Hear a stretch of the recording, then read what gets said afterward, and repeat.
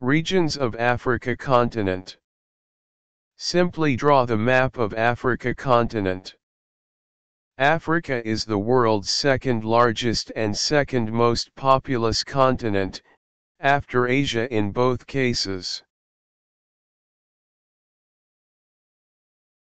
Atlantic Ocean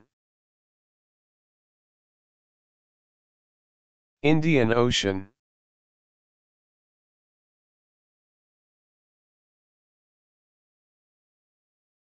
Central Africa Central Africa is a subregion of the African continent.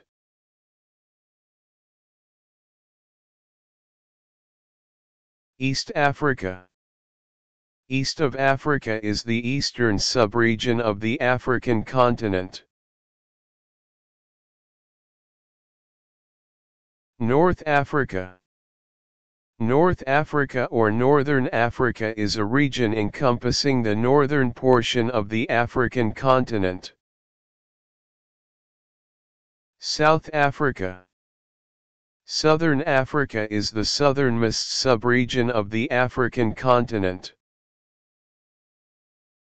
West Africa The region of West Africa includes the southern portion of the bulge of the continent, which extends westward to the Atlantic Ocean.